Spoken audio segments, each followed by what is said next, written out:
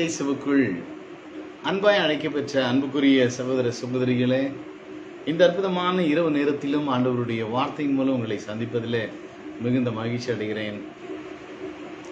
தேவனுடைய வார்த்தைகள் நம் வாழ்வை வளமாக மாற்றிக்கொண்டே இருக்கும். ஆகவே இந்த நாளிலும் ஆண்டவருடைய வார்த்தைகளை தியானிப்பதற்கு முன்பாக நாம் ஜெபிக்கலாம். நேற்றும் இன்றும் என்றும் மாறாது எங்களுக்குள்ளே வாசம் பண்ணுகிற எங்கள் நித்திய பிதாவே இந்த அற்புதமான இரவு நேரத்துக்காக நன்றி சொல்லுகிறோம்.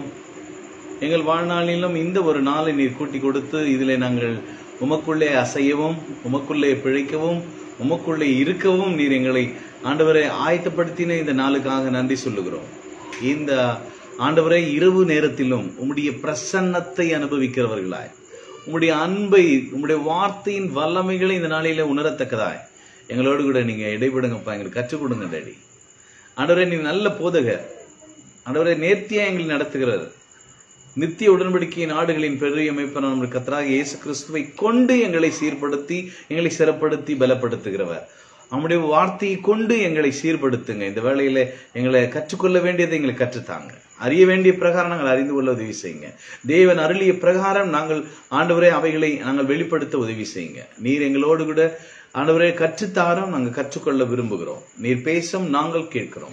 ஏசு கிறிஸ்துவின் ஈடு இல்லாத பரிசுத்த நாமத்தில் செபிக்கிறேன் பிதாவே. ஆமேன். கத்தர் நல்லவர். அவருடைய வார்த்தை நல்லது. ஆகவே இந்த நாளிலும் நல்வார்த்தைகளை நாம் அறிந்து கொள்ள நல்ல தேவன் நமக்கு கற்றுக் கொடுப்பாராக. ஒரு பாடலை நாம் பாடலாம். தேவா நான் எதினால் விசேஷித்தவன். நீர் என்னோடு இருப்பதால். அவர் நம்ம கூடவே இருக்கிறதுனால நாம் விசேஷித்தவர்களாக இருக்கிறோம். ஒரு சில இடத்துலலாம் நம்ம போகும்போது நமக்கு தகுதியே இல்லை. ஆனாலும் நம்மளை பார்த்தோன்னே ஒரு ஹானர் ஒரு கனப்படுங்கிற நிலை இதெல்லாம் பார்த்தீங்கன்னா ஆட்டோமேட்டிக்காக வருது அப்படின்னா நமக்குள்ளே தேவன் இருக்கிறார் என்பதை மற்றவர்கள் காணும் பொழுது நம்மை கனப்படுத்த விரும்புகிறார் ஆனால் சொன்னார் ஒருவன் எனக்கு ஊழியம் செய்வானானால் பிதாவானவர் கனம் பண்ணுவார். பிதாவே நம்மை ஹானர் பண்றார். எழுந்து நின்று நம்மளை வரவேற்கிற தெய்வம் எத்தனை நல்ல தகப்பன். ஆகவே பிள்ளையாகிய நாம் தகப்பனுடைய ஆலோசனைகளை இதனால் வேதத்தின் வாயிலாக கேட்க கிருபி செய்வாராக. ஒரு பாடலை பாடலாம். நாம் விசேஷித்தமானவர்கள். அது மட்டுமல்ல தாகம் கொண்ட தேவச்சனம் வானம் பார்க்குதுன்னு ஒரு பாட்டு. ஆவல் கொண்ட கண்மலையும் கூட வருது. இஸ்ரேல் மக்கள் அப்படிதான் இருந்தாங்க. ஆனால் தாகம் கொண்ட தெய்வ ஜனம் இன்னைக்கு என்ன பார்க்கணும்? வானத்தை பார்க்க வேண்டிய அவசியம் இல்லை. வார்த்தையை பார்ப்போம். வார்த்தை பார்க்குது. என் ஏக்கமெல்லாம் என் தேவன் தீர்க்கின்றீர். தீர்த்தார் தீர்த்து முடித்தீர் அப்படின்னு நம்ம சொல்லுவோம். சந்தோஷமா நம் வாழ்விலே அற்புதங்களை காண்போம். கிறிஸ்துவுக்குள் அசைகிறேன் பிழைக்கிறேன் இருக்கிறேன். உயிருள்ள வார்த்தையினால் நான் உயிர் பெற்றேனே. செத்து கிடந்த என் வாழ்க்கையை துளிர்க்க செய்தவரே என்ற அந்த ரெண்டு சரணத்தை மட்டும் நம்ம பாடி தேவநாமத்தை மையப்படுத்தலாம். தாகம் கொண்ட தேவ ஜனம் வானம் பாக்குது ஆவல் கொண்ட கண்மலையும் கூட வருது. தாகம் கொண்ட தேவ ஜனம் வானம் பாக்குது ஆவல் கொண்ட கண்மலையும் கூட வருது. என் ஏக்கமெல்லாம் என் தேவன் தீர்த்தார். சந்தோஷம் என் வாழ்விலே. என் ஏக்கமெல்லாம் என் தேவன் தீர்த்தார். சந்தோஷம் என் வாழ்விலே. தேவா நானே ஏதினால் விசேஷித்தவன். ராஜா நான் அதை தினம் யோசிப்பவன். தேவா நானே ஏதினால் விசேஷித்தவன். ராஜா நான் அதை தினம் யோசிப்பவன். எதினால் இது எதினால் நீர் என்னோடு இருப்பதினால். எதினால் இது எதனால்? நீர் என்னோடு இருப்பதினால். கிறிஸ்துவுக்குள் அசைகிறேன் பிழைக்கின்றேனே. அவர் உயிர் உள்ள வார்த்தையா? உயிர் பெற்றேனே. கிறிஸ்துவுக்குள் அசைகிறேன் பிழைக்கிறேனே. அவர் உயிர் உள்ள வார்த்தையால் உயிர் பெற்றேனே. எனக்காக எல்லாம் செய்து முடித்தீர். என் இயேசு பெரியவரே. எனக்காக எல்லாம் செய்து முடித்தீர். என் இயேசு சிறந்தவரே. தேவா நான் எதினா விசேஷித்தவன். ராஜா நான் தின தினம் யோசிப்பவன். சித்தவன். ராஜா நான் அதை தினம் யோசிப்பவன். எதினால் இது எதனால் நீர் என்னோடு இருப்பதினால். வாழ்க்கையிலே ஆசீர்வாதம் பெருகுகிறது. வாழ்வழிக்கும் வார்த்தையை நான் அறிந்ததினால். மாறா போன்ற இருந்த என் வாழ்வை தேனாக மாற்றின என் நேசர் என்னோடு உண்டு அந்த வரியும் சேர்த்து பாடலாமா? வாழ்க்கையிலே ஆசீர்வாதம் பெருகிட்டதே. வாழ்வழிக்கும் வார்த்தையை அறிந்ததினால் வாழ்க்கையிலே ஆசீர்வாதம் பெருகிட்டதே. வாழ்வழிக்கும் வார்த்தையை அறிந்ததினால் மராவின் நீரை தேனாக மாற்றும். என் நேசர் என்னோடுண்டு. சொல்லுங்க அமேன் மாறாவின் நீரை தேனாக மாற்றின என் நேசர் என்னோடுண்டு. தேவா நானே எதினால் விசேஷித்தவன். ராஜா நான் அதை தினம் யோசிப்பவன். எதினால் இது எதினால் நீர் என்னோடு இருப்பதினால். எதினால் இது எதனால் நீர் என்னோடு இருப்பதினால். ஒவ்வொரு நாளும் இஸ்ரேல் மக்களை பகலிலே மேக சம்பத்தினாலும் இரவிலே அக்கினி சம்பங்களிலும் அவர் நடத்தின வழி நடத்தின விதங்கள் ஆச்சரியமானது அதிசயமானது. இன்றைக்கு கூட பரலோக வாழ்வை இந்த பூலோகத்திலே வாழ நமக்கு வழிகளை வகுத்திருக்கிறார். நம் கண்கள் திறக்காவிட்டால் முக்காடு விலகாவிட்டால் மனம் திரும்புதல் உண்டாகாவிட்டால் கீழ்ப்படிதல் இல்லாவிட்டால் வாழ்க்கையில் எந்த மாற்றத்தையும் காண முடியாது. ஆகவே அன்புக்குரியவர்களே வார்த்தைக்கு கீழ்ப்படிவோம் வாழ்விலே வளமான வாழ்வை அனுபவிப்போம். நாம் தொடர் இன்னைக்கு நாம் கடந்து செல்லுவோம். மத்திய எதிர நச்செய்தி நூலை நாம் பார்த்து வருகிறோம். இன்றைக்கு நாம் பார்க்கலாம். நான் மத்திய நான்காம் அதிகாரம் முதல் வசனத்தை நாம் தியானித்துக் கொண்டிருக்கிறோம். வாசிக்கிறேன். அப்பொழுது இயேசு இயேசு கிறிஸ்து அப்பொழுதுனா எப்பொழுதுனா ஞானசானம் எடுத்து கரையேறின பொழுது தேவனுடைய சத்தத்தை அங்கே கேட்டார்கள். இவர் என் நேசகுமாரன் இவரில் நான் பிரியமாயிருக்கிறேன் என்று சொல்லி சத்தம் உரைத்தது. அப்பொழுது இயேசு பிசாசினால் சோதிக்கப்படுவதற்கு ஆவியானவராலே வனாந்திரத்துக்கு கொண்டு போகப்பட்டார். ஆவியானவருடைய ஆளுகைக்குள்ளிருந்து பிசாசை ஜெயித்திருக்கிறார் என்பதை நாம் உணரணும். சில ஆண்டவர் தான் சொன்னாரு தான் சுய சித்தத்துல போய் உட்காந்துக்கிட்டு அங்க போராடிட்டு இருக்கிற வாழ்க்கை இல்லை நம்ம வாழ்க்கை. அதனால இந்த பிசாசின் தந்திரங்கள்லாம் புரிஞ்சுக்கணும் ஏசுன்னா யாருன்னு தெரியணும் பிசாசுனா என்னன்னு தெரியணும் ஆவியானுடைய ஆளுக நடத்தப்படுகிற வழிநடத்தல் என்னன்றது புரி புரிஞ்சுக்கிட்டீங்கன்னா வாழ்க்கையில் மிகப்பெரிய உன்னதமான வாழ்வை நாம் இந்த உலகத்தில் அனுபவிப்போம். நாம் ஏற்கனவே பார்த்தோம் பிசாசு என்றால் பல பேர்கள் நேற்று கூட ஒரு பேர் சொன்னீங்களே என்ன அது? எதிராளி பிசாசு டிமான் இல்லையா? ஆ, அந்த பிசாசு சோதனைக்காரன் அப்படின்னு நம்ம பார்த்தோம். இதே அதிகாரத்திலே அதே நான் மூணாவது வசனத்துல பாருங்க. அப்பொழுது சோதனைக்காரன் அவரிடத்தில் வந்து சோதனைக்காரன் அப்ப தேவன் சோதிக்கிறவர் கிடையாது. இதை புரிஞ்சுக்கணும். அவர் வசனத்தை கொண்டு சோதிப்பாரு தவிர சோதனையில ரெண்டு சோதனை இருக்குது. அப்பா கொடுக்கிற சோதனை இருக்குது. பிசாசு அந்நியன் மூலமா வருகிற சோதனை இருக்குது. அசுத்தாவி ஆனா சாத்தான் நேற்று பார்த்தோம் குற்றம் சாட்டுகிறவன் சோதனைக்காரன் எதிராளி பழைய பாம்பாகிய வலுசர்வம் பிசாசு. இப்போ ஒரு புதிய பேர் இன்னொரு பேர் நம்மலாம் சொல்லுவோம் சின்ன பசங்கலாம் என்ன பார்த்தா என்ன பயந்துட்டியா? சில பார்த்தீங்கன்னா இவனுக்கு என்ன பிடிச்சிருக்குது? என்ன பிடிச்சிருக்குது? பேய் பிடிச்சிருக்குது. பேய்னால டிமாண்ட் தான். அந்த பிசாசு சாத்தானுக்கு ஈக்குவலான தான். பேய் பிடிச்சிருக்குது. இன்னைக்கு ஒரு சம்பவத்தை நம்ம பார்க்கலாம். வேதம் பேய்கள் என்று எதை குறிப்பிடுகிறது குறிப்பிடுகிறது? இன்றைக்கு கூட நிறைய பேர் என்ன பண்றோம்? பேய்களோட ஐக்கியமா இருக்கிறோம். நமக்கு தெரியல. பேய் கூட தான் குடும்பம் நடத்துறோம்னு. ஒருத்தர் விளையாட்டா சொன்னாராம் ஆ, ஒரு கொஞ்சம் ஜோக்காக சொல்லியிருக்காங்க. அது ரியல் கிடையாது. நிறைய இடத்துல ரியலாகவும் இருக்குது இன்னைக்கு. என்னங்க பேயை பார்த்துருக்கிறீங்களா? அப்படின்னு கேட்டுக்கிறாங்க. என்னங்க அப்ப நீங்க பாத்துக்கிறீங்களான்னு கேக்குறீங்க? அது கூட தாங்க குடும்பம் நடத்திட்டு இருக்கிறேன்.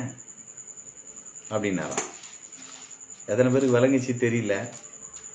இன்னைக்கு நிறைய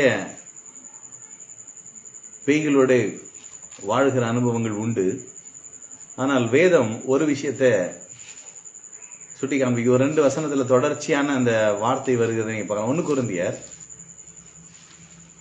பத்தாம் அதிகாரம் இருபது இருபத்தோரு வசனங்களை நான் வாசிக்கிறேன் பாருங்க. அஞ்ஞானிகள் பலியிடுகிறவைகளை தேவனுக்கு அல்ல பேய்களுக்கே பலியிடுகிறார்கள் என்று சொல்லுகிறேன். நீங்கள் பேய்களோட ஐக்கியமாயிருக்க எனக்கு மனதில்லை.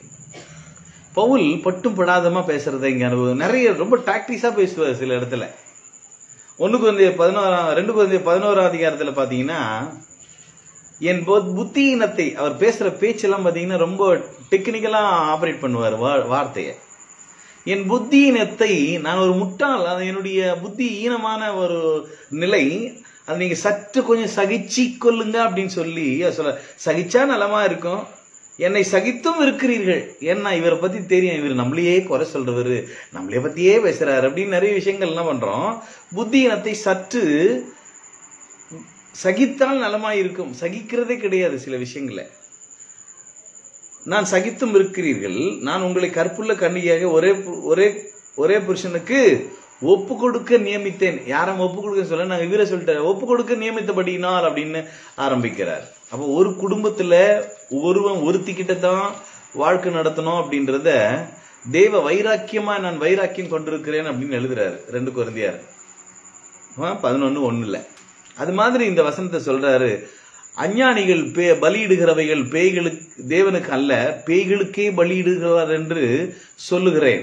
நீங்கள் பேய்களோட ஐக்கியமா இருக்க எனக்கு மனசு இல்லப்பா எனக்கு நீ இப்படி வாழ்றது மனசு இல்ல அப்போ என்ன பேய்களோட அப்போ நாம் என்ன செயல்களை செய்கிறோமோ அது செயல்கள் ஒரு ஐக்கியத்தை குறிக்கும் நீ கூட ஒரு ஒரு பெண்ணு பார்க்கவோ ஒரு மாப்பிள்ளை பார்க்கவோ ஒரு வீட்டுக்கு போகிறோம் போகும்போது கை நனைக்குதுன்னு சொல்லுவாங்க. அப்படின்னா ஐக்கியப்படுறேன்னு அர்த்தம். ஒரு வீட்டில் போயிட்டு சாப்பிட்றோம் அப்படின்னா ஐக்கியம். தேவ உறவு அது. தேவன் ஒரு வீட்டில் பாவி வீட்டில் போய் சாப்பிட்டுங்கிறார் அப்போ எல்லாம் சொல்றான் என்ன ஐயா இந்த கை கழுவாம பாவி வீட்டில் போய் சாப்பிட்டு உட்காந்துங்கிறாரே தேவனுடைய பார்வையில் பாவி கெட்டவன் அப்படிலாம் கிடையவே கிடையாது. எல்லாரையும் ஒன்று போல அவர் பார்க்குறார். எல்லாரும் நேசிக்கிறார். நேற்று பார்த்தோன்னா பட்சம் பண்ணு பட்சவாதம் பார்க்குறீங்கன்னா நீங்க பாவம் செய்கிறவர்களா இருப்பீர்கள். நியாயப்பிரமாணத்தினால நீ குற்றவாளியாக தீர்க்கப்படுகிறாய். யாக்கோபு ரெண்டு எட்டு ஒன்பதுல வாஸ்தம் ஆகவே இன்றைக்கு நாம் பட்சபாதம் இல்லாமல் எல்லாரையும் ஒன்று போல நேசிக்கின்ற தேவனுடைய சுபாவம் ஐக்கியத்தை ஒரு இடத்துல சாப்பிடுறதுன்றது அவர்களோடு கூட நாம் இசைந்து இருக்கின்ற நிலையை குறிக்கிறதா இருக்கிறது. இப்ப இஸ்- இங்க என்ன பண்றாங்க? கொருந்து சபையில வலியிடுறாங்க இப்ப தேவன் என்ன பண்ணார்? பலியை ஒழிச்சிட்டாரு. பலி பலிப்படம் இருக்குது. பலியை ஒழிச்சிட்டார். இன்னும் பலிப்படத்தை விடல சிலர் நம்ம. ஹால்டர் ஆல்டர்னா பலிபீடு பலிபீடம் பலி செலுத்துகிற இடம். இன்னைக்கு தேவ தேவனுடைய வார்த்தை பேசுகின்ற இடமாக அது மாற்றப்பட்டிருக்கிறது. புதிய உடன்படிக்கையில்.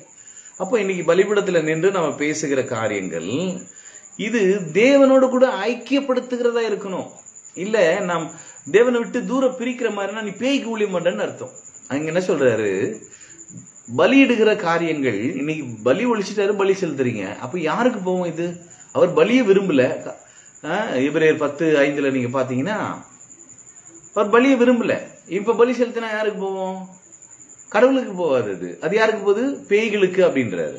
ஏன்னா நீங்க அதெல்லாம் பாத்தீங்கன்னா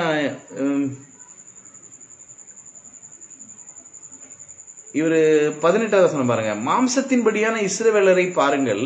பலிகளை புசிக்கிறவர்கள் பலிகளோட ஐக்கியமா இருக்கலாம் அல்லவா? ஒரு காரியத்தை செய்யும் போது அவன் புசிக்கிறான் அப்படின்னா அவங்களோட கூட நீங்க மிங்கிள் ஆயிருங்க ஐக்கியமா இருக்கிறீங்க அப்படின்றாரு. ஆனா இங்க பேய்களோடு அது பேய்களுக்கு செய்கின்ற ஒரு பணியாக இருக்கு. அதோடு கூட நீங்க மனசுல உட்காந்து சாப்பிடுறது எனக்கு பிடிக்கலங்க அப்படின்றாரு. இந்த அதிகாரம் ஆரம்பத்துல இருந்து நீங்க பார்த்தீங்கன்னா இது இதனுடைய காராம்சம் புரியும். ரெண்டாவது வசனத்திலையும் இருபத்தி ஒன்னுலயும் சொல்றாரு நீங்கள் கர்த்தருடைய பந்தியிலும் பேய்களுடைய பந்தியிலும் பானம் பண்ணக்கூடாதே. இது என்ன டீ கடையா இது? காலையில ஏந்துக்கிற வர்ற அப்படி சாப்பிட்ற அப்படிதான் இது அங்க குருது சபையில சாப்பிட்டாங்க. அவங்கவுங்க திருவிருந்தெல்லாம் கொண்டு வரணும் அந்த காலத்துல. அவங்கவுங்க எடுத்துட்டு வருவாங்க. இன்னைக்குன்னா சபையில அவங்க ரெடி பண்ணி கொடுக்குறாங்க. ஆனா அன்னைக்கு அவங்கவுங்க எடுத்துன்னு வந்து அதை ஐக்கிய பந்தியா சாப்பிட்டு இருந்தாங்க அதான் சிலர் பசி எடுக்கும்போது சீக்கிரம் சாப்பிட்றது. அதான் நீ ஏன் ஏன் முந்தி சாப்பிட்ற? அப்படின்னு ஒரே வாக்குவாதம். அதை குறித்து தான் பதினோரு அதிகாரத்தில் எழுதுறாரு. ம்? இது தேவனோடு ஐக்கியமா இருக்கணும். ஏன் அவசரப்படுற? இது என்ன அங்கேயும் இங்கேயும் குடிக்கிறதுக்கு இதுனா இதுவாகுது. பப்ளிக் இதுவாகுது. அப்ப என்ன ஐக்கியம் நீ பண்ற? நீ பேய்களோடு பாத்திரத்திலும் பானம் பண்ணக்கூடாதே. நீங்கள் கர்த்தருடைய போஜன பந்திக்கும் பேய்களுடைய போஜன பந்திக்கும் பங்குலோர்லாம் இருக்கக்கூடாது. எப்படி சிம்பாலிக்கே சொல்ற இன்னைக்கு நம்ம எதை செய்யறோமோ அதுல நம்ம பங்கு. இப்போ ஒரு காரியத்தை செய்கிறோம் அப்படின்னா அதை நான் உடன்படுறேன் ஆமேன்னு சொல்லிட்டேன்னா அதை நான் உடன்பட உடன்படுறவனாவே இருக்கிறேன். அது மாதிரி தான் சாப்பிடும்போது அந்த ஐக்கியத்தில் நானும் கலந்துக்கிறேன் அதை ஏற்றுக்கிறேன்னு அர்த்தம். அப்போ இன்னைக்கு நான் பேய் என்ன என்னென்ன இந்த விஷயத்த கேரக்டர் என்ன சொல்கிற பாருங்க. பத்தாம் அதிகாரத்தில் ஒன்றுலேருந்து பார்த்தீங்கன்னா இஸ்ரேல் மக்கள் வனாந்திரத்துலேருந்து வர்றாங்க. வரும்போது பிதாக்கள் எல்லாரும் அந்த மேகத்தினாலே அவர்கள் ஞானஸ்தானம் பெற்றார்கள். அந்த கடல்ல அப்படி கலந்து கடந்து வரும்போது மேகத்தினாலும் தண்ணினாலும் அவர்கள் அப்படியே உள்ள முழுகி வர்றதுனால முழுகுல அந்த பாதைகள் பிற பிளந்து அவங்க வெளியே வராங்க இல்லையா? அப்ப தண்ணியில வந்த கணக்கா அவங்க அவங்கள தெய்வம் என்ன பண்ணுறது ஸ்நானத்துல கொடுக்குறாரு. இது இது ஆவிக்குரிய அர்த்தமுள்ளதாக அன்றைக்கு இஸ்ரேல் மக்களுக்கு நடந்த சம்பவங்களை அப்படி ஏற்றுக்கொள்றார். ஞானஸ்தானம் பெற்றதா? சமுத்திரத்தின் வழியே நடந்து வந்தார்கள். எல்லோரும் மோசைக்குள்ளாக மேகத்தினாலும் சமுத்திரத்தினாலும் ஞானசானம் பண்ணப்பட்டார்கள். அப்ப ரெண்டுத்திலயும் இவங்க ஞானசானம் எடுத்துட்டாங்க. இப்ப வந்து இங்க ஒவ்வொருத்தரோட பத்தி அந்த கேரக்டர் எப்படி ஐக்கியப்படுறாங்க எப்படி அந்த பங்காளியா மாறுறாங்க பேய்க்கு அப்படின்றத இங்க சொல்றாரு. எல்லோரும் ஒரே ஞான போஜனத்தை புசித்தார்கள். இன்னைக்கு கூட நம்ம எல்லாம் சாப்பிடும்போது திருவிருந்து எடுக்கும் போதெல்லாம் ஒரே பந்தி ஒரே இது அப்படின்னு சொல்லி நம்ம சாப்பிட்றோம். புசித்தார்கள். அப்படிதான் அன்னைக்கு அவங்க என்ன பண்றாங்க? வானத்துல இருந்து மன்னாவே அவர்களுக்கு கொடுத்தார். அவங்க அப்பத்தை பிடி புசிக்கிறாங்க. அது ஞான பாஜ ஞான ஞான போஜனம் அப்படின்னு இங்கே சொல்லப்பட்டிருக்குது. அடுத்த வசந்தத்தில் பாருங்க எல்லாரும் ஒரே ஞான பானத்தை குடித்தார்கள். எப்படி எனில் அவர்களோடு கூட சென்ற ஞான கண்மணி தண்ணீரை குடித்தார்கள். அப்போ தண்ணி குடித்தது ஞான அந்த திராட்சை ரசம் ஆண்டவருக்கு ஈக்குவலாக அங்கே ஏன்னா ஆண்டவரிடத்திலிருந்து புறப்பட்ட அந்த ஜீவ தண்ணீர் அப்படின்னு சொல்லி ஈக்குவலாக அங்கே பேசுறத நம்ம பார்க்கலாம். அப்போ எல்லாமே ஞான போஜனம் ஞான பானத்தை அவர்கள் குடித்தார்கள். அந்த கண்மலை கிறிஸ்துவே. அப்போ கிறிஸ்து எங்க இருக்கிறாரு? நிறைய பேர் ரெண்டாயிரம் வருஷத்துக்கு அப்புறம் தாங்க அவர் குழந்தையா பிறந்து பிறக்கிறாரு அப்படின்னா. ஏங்க இஸ்ரேல் மக்கள் வனாந்திரத்துல வழிநடத்தும் போதே இவர் தாங்க வழிநடத்தி வந்திருக்கிறாரு. உலகம் உண்டான போது எபிரேயர் ஒன்னா அதிகாரத்துல சொல்றாரு மூணு வசனத்துல இவரை கொண்டு உலகங்களை உண்டாக்கினா அப்ப இயேசு கிறிஸ்து உலகம் உண்டாகிறதுக்கு முன்னாடியே அவர் இருக்கிறாரு. அததான் யோவான் ஒன்று ஒண்ணுல எழுதுறாரு ஆதியிலே வார்த்தை இருந்தது அந்த வார்த்தை தேவனா இருந்தது அந்த வார்த்தை அப்படியே சொல்லி இவரை கொண்டு உலகங்களை உண்டாக்கினார். இவர் மூலமாக இவருக்கென்றும் கொலுசியர் ஒன்றாம் அதிகாரம் பத்தொன்பது இருபது வசனங்களை பார்த்தீங்கன்னா இவர் ஆதியும் அந்தமும் முதல்வராய் இருக்கும்படிக்கு இவரை கொண்டே இவருக்கென்று சிருஷ்டிக்கப்பட்டது எல்லாம். அப்போ இயேசு கிறிஸ்து பாருங்க எப்- காலத்துக்கு முன்னாடி ஆதியிலே அப்படின்னா அவர் இல்லாமல் இல்லை. அவரை கொண்டு தான் எல்லாவற்றையும் படைத்திருக்கிறார். கிறிஸ்துவை கொண்டு உருவாக்கப்பட்டிருக்கிறது என்பதை இந்த வேத பகுதியின் மூலமா நாம் உணர்கிறோம். அப்படி இருந்தும் இவ்வளவு பெரிய ஆசீர்வாதங்களை வனாந்திரத்துல இவங்க பெற்றிருந்தும். இவர்கள் எப்படி பேய்களுக்கு பேய்களுக்கு பங்காளியா அது சாப்பிட போயிட்டாங்க அப்படின்னா ஒரு இன்ஸ்ட்ரக்ஷன் ஒரு ஆறு விஷயம் இங்க மென்ஷன் பண்றாரு. நான் சுருக்கமா அதை சொல்றேன். கவனிங்க. முதல்ல அவங்க பண்ணது அப்படி இருந்தும் அவர்களில் அதிகமான பேரிடத்தில் கடவுள் என்ன பண்ணல? பிரியமா வாழல. நீங்க நிறைய கிறிஸ்தவங்க இருக்கிறாங்க எல்லாரையும் நேசிக்கிறாரா? எல்லாரையும் நேசிக்கிறார் தான். ஆனால் அவர்களுடைய செயல்கள் மூலமாக அவர்களுடைய கிரியைகள் மூலமாக அவர்களுடைய நிலைகளை நாம் புரிந்து கொள்ளணும். இன்னைக்கு நம்ம கிரியை என்னன்றதை கொஞ்சம் செக் பண்ணி பார்ப்போம். நம்ம பேய்க்கு ஐ பேய்களோட ஐக்கியமாக இருக்கிறோமா? பேய்களோட பங்காளியாக இருக்கிறோமா? இதுதான் இன்னைக்கு கேள்வி. அதுக்கான பதில் இங்கே பாருங்க. அவங்க எப்படி இருந்தாங்க? அவர்கள் இச்சித்தது போல பிரியமாக இருந்ததில்லை. ஆதலால் வனாந்தரத்தில் அவர்கள் அழிக்கப்பட்டார்கள். இது நமக்கு திருஷ்டாந்தமாக சில காரியங்களை இங்கே சொல்லி வருகிறார். இப்போ அதை நான் பார்க்க போகிறோம் அவர்கள் இச்சித்தது போல நாம் பொல்லாங்கனவைகளை இச்சியாதபடிக்கு இவைகள் நமக்கு திருஷ்டாந்தங்களா இருக்கிறது. எதை பார்க்குறானோ அது ஆசை இச்சை. எனக்கு இது வேணும் அடம் பிடிக்கிறது. வனாந்திரத்திலே செத்த சாவ என்ன கொண்டு வந்தீங்க. நான் அங்கேயே அடிமையா வாழ்ந்ததே வாழ்ந்திருப்பேன்ல. அஹ் அங்க சாப்பிட்ட அந்த வெள்ளரி பூண்டு இருந்தா போதும். வனாந்திரத்துல எடுத்துன்னு வந்து எங்களுக்கு சாவடிகையா கொண்டு வந்த. மோசை பார்த்து எல்லாம் புலம்புறான். சில காரியங்களை இச்சிக்கிறாங்க. இது எனக்கு இருந்தால் நல்லா இருக்குமே அது எனக்கு இருந்தால் நல்லா இருக்குமே. இன்றைக்கும் கூட நம்ம என்ன சொல்கிறோம் "ஆ, அவன் மட்டும் காரில் போகிறான் அவன் மட்டும் இப்படி இருக்கிறான். எனக்கு ஒன்றும் இல்லையே. என்ன ஆண்டவரே? அப்படின்னு சொல்லி இது மாம்சத்தில் தோன்ற காரியங்கள் தான். ஆனாலும் நாம் எதற்கு இடம் கொடுக்கிறோம்? யா- பேய்களோடு ஐக்கியமா இருக்கிறோமா? பேய்களோடு பங்காளியா இருக்கிறோமான்றதுக்கு என்ன டெபினேஷன் கொடுக்குறா பாருங்க? ஃபர்ஸ்ட் அவர்கள் அழிக்கப்பட்டதின் நோக்கம் என்ன அப்படின்னா இஸ்ரேல் மக்கள் வழியிலே வனாந்திரத்தில் அநேகர் அழிக்கப்பட்டாங்க. எவ்வளவு அவங்களுக்கு ஞான போஜனத்தை குடிச்சாங்க ஞான பானத்தை பண்ணாங்க சாப்பிட்டவங்க தான். ஆனா இன்னைக்கு நம்ம நான் கோயிலுக்கு போறேன் பிரதர் நான் ஞானஸ்தானம் எடுத்துட்டேன் பிரதர் நான் இப்படி இருக்கேன் பிரதர் நான் பக்தியா இருக்கிற பிரதர் என்னுடைய ஊழியம் பண்ணுற மாதிரி இப்படி நிறைய விஷயங்கள் நம்ம சொல்லலாம். ஆனா நம்ம சில காரியங்களை தேவனை இச்சிக்காமல் தேவனை விரும்பாமல் அநேக காரியங்களுக்கு விருப்பத்தை முன்பாக தேவனுக்கு இச்சிக்கிற காரியங்கள். அது இன்னைக்கு ஃபர்ஸ்ட் இவர் ப்ரிப்பரேஷன் இல்லை இல்லை எனக்கு இதான் முதல் இதான் முதலிடம். அப்படின்னு நம்ம எதை விரும்புகிறோமோ அதை இச்சிக்கிறதை இங்கே நாம் பார்க்கிறோம். அவர்கள் இச்சித்தார்கள். இன்னைக்கு திருஷ்டாந்தங்களுமா பிடிக்க அதுக்கு ஒரு வசனமும் இருக்குது அதை தான் இங்க மென்ஷன் பண்ணி காட்டார் ஜனங்கள் புசிக்கவும் குடிக்கவும் உட்கார்ந்து விளையாட எழுந்திருந்தார்கள் என்று எழுதியிருக்கிறபடி. சில பார்த்தீங்கன்னா சாப்பிட்ற விஷயத்தில் விஷயத்துல குடிக்கிற விஷயத்துல. சிலர் அதுதான். எனக்கு இது இருந்தா போதுங்க. இந்த சோறு கண்ட இடமே சொர்க்கம்னுவாங்க சிலர். எங்கே எங்க கிடைக்குதோ அது சொர்க்கமா நினைக்கிறது தப்பு கிடையாது. அதிலே ரொம்ப ஈடுபாடோடு இருக்கிறது இங்கே அன்னைக்கு அழிக்கப்பட்டதின் நோக்கம் என்ன என்பது புரியுங்க. நிறைய பேர் எனக்கு இதை கொடுக்கல அதை முறுமுறுத்துட்டே இருந்தாங்க. இது இல்லை அது இல்லை அது இல்லை அது இல்லை. இப்படியே பண்ணாங்க பாரு. வாயில வச்ச உடனே அதை அப்படி பண்ணவெல்லாம் செத்து போயிட்டாங்க. அழிக்க அழிக்கப்பட்டாங்க. இதெல்லாம் திருஷ்டாந்தங்கள் நம்ம கொடுக்கப்பட்டது. ஆக சில காரியங்களை நம்ம நிதானித்து பகுத்தறிந்து காரியங்கள் செய்யணும். அடுத்தது இப்ப ரெண்டாவது விக்கிரக விக்கிரக ஆராதனை சிலர் என்ன பண்ணாங்கன்னா விக்கிரக ஆராதனைக்காரரானது போல நீங்களும் ஆகாதிருங்கள். எது செய்யக்கூடாதான் நான் படைச்சேன் ஒரு ஒரு மரத்தை ஒரு மரத்தை வெட்டான் அதுக்கு ஒரு சிலையை ஒரு ஒரு பொருளை செஞ்சு அதை நம்ம என்ன பண்றோம்? அதுக்கு நான் ஜீவன் கொடுத்து அதை நம்பி வாழ்ற வாழ்க்கை அது பேசுமா? நட்டக்கல்லு பேசுமா? நாதன் உன்னுள்ள இருக்கையில்.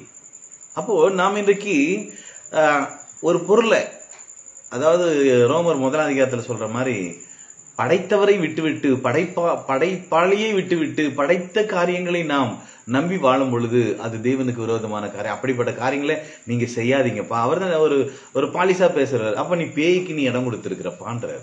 அதை தான் இங்க சொல்ல வர்றாரு. ஆகாதிருங்கள். அடுத்தது பாத்தீங்கன்னா மூணாவது வேஷிதனம் பண்ணி. ஒரு முறையான வாழ்க்கைன்னு ஒண்ணு இருக்குது. அதுக்கு விரோதமா செய்யறது எல்லாமே வேசிதனம் தான் ஆவிக்குரிய விபச்சாரம் அப்படின்னு சொல்லுவாங்க. தேவனை விட்டு வார்த்தைக்கு விரோதமான நான் ஒரு காரியங்களை செய்யும் பொழுது அது தேவனுக்கு விரோதமான காரியங்கள்.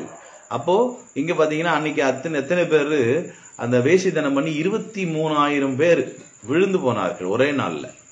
அது போல நீங்க என்ன பண்ணாதீங்க? அப்படிப்பட்ட முறைகேடான செயல்களை செய்யாதிருங்கள். அது பேய்களோடு இருக்கிற ஐக்கியம் உங்களை அழித்து விடும் அப்படின்னு இங்க எச்சரிக்கிறார். அடுத்த வசனம் பாருங்க. நாலாவது என்னன்னா சிலர் கிறிஸ்துவை பரீட்சை பார்த்து டெஸ்ட் பண்றது கடவுளையே அப்படிதான் அன்னைக்கு செக் பண்ணாங்க நிறைய பேர்.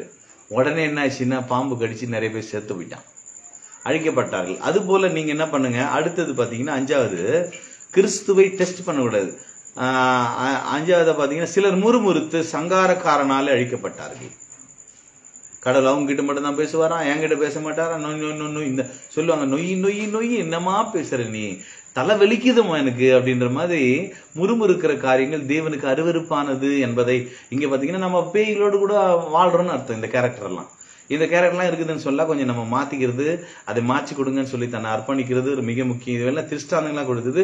முடிவு காலத்தில் இருக்கிற நமக்கு இது எச்சரிப்புக்காக எழுதப்பட்டிருக்கிறது.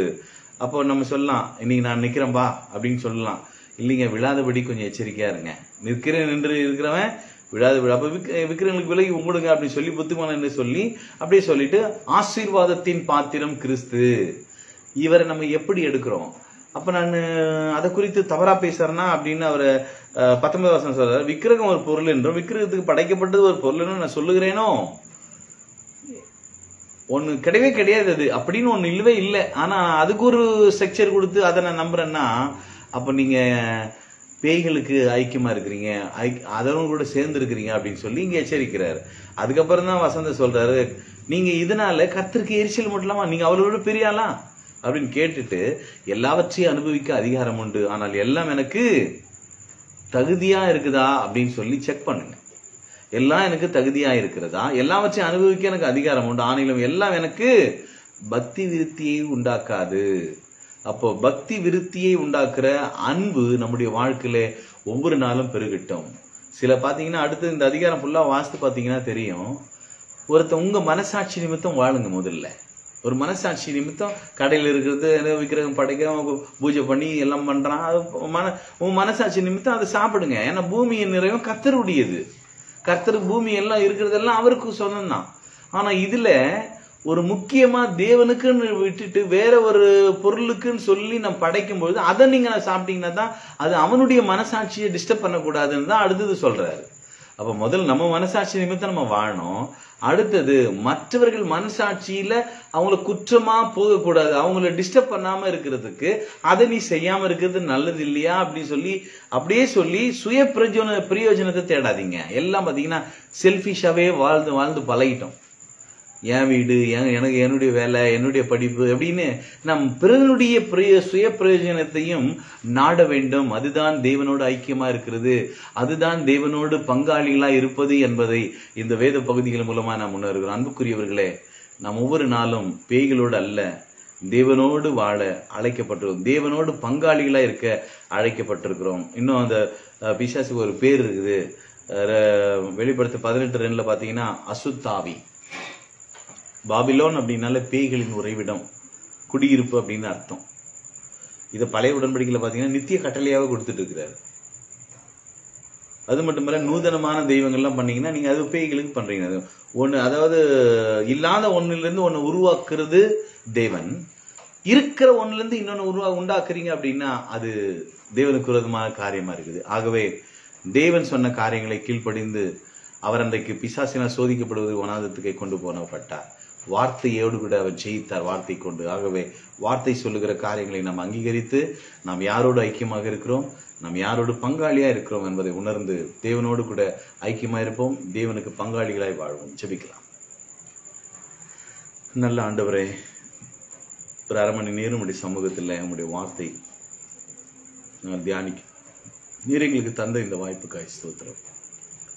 ஆண்டவரே பேய்களோட ஐக்கியமா இருப்பது உமக்கு பிரியமல்ல மனதில்லைன்னு அப்போஸ்தலன் பவுல் மூலமாக எச்சரித்திருக்கிறீர். நாங்கள் யாரோடு பங்காளியா இருக்கிறோம் யாரோடு ஐக்கியமா இருக்கிறோம் எங்கே புசிக்கிறோம் எங்கே நாங்கள் இசைந்திருக்கிறோம்? அந்நிய நுகத்தோடு பிணைக்கப்படாதிருப்பாயாக. சிலர் அப்படி ஆண்டவரை இஸ்ரேல் மக்கள் இச்சித்தார்கள்.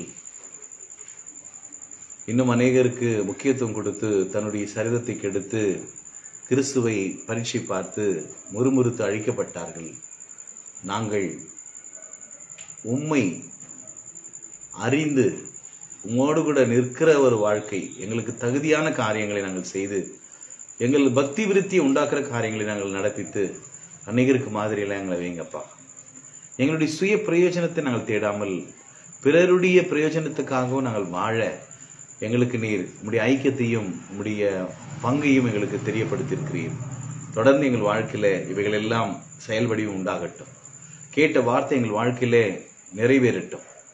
ஆண்டவரே சத்தியத்துக்கு விரோதமாக எங்கள் வாழ்க்கையில ஒரு காலம் இல்லாதபடி சத்தியத்துக்கு கீழ்ப்படிந்து அவைகளை நாங்கள் அங்கீகரிக்க உதவி செய்யுங்க. நீங்க எங்களை நடத்துகிறீர் உங்களுடைய வார்த்தைகளை ஆளுகை செய்கிறது அதற்காக நன்றி. தொடர்ந்து பெரிய காரியம் செய்யுங்க. இந்த இரவில் படுத்துறீங்கனாலும் மீண்டும் ஒரு நாளை கண்டு உங்கள் நன்றி துதி ஸ்தோத்திரங்களை ஏறெடுக்க நீரே கிருவி பாராட்ட வேண்டுமா எங்கள் மீட்பு ரட்சகருமாய் இருக்கிற இயேசுவின் நாமத்தில் செபிக்கிறேன் ஜீவனுள்ள பிதாவே. ஆமேன். கத்த நல்லவர். வார்த்தை பிடிங்க வாழ்விலை மாற்றங்களை காணுங்கள். ஒவ்வொரு நாளும் தேவன் நம்மை ஆசீர்வதித்திருக்கிறார். பாய். மீண்டும் நாம் காலை சந்திக்கலாம்.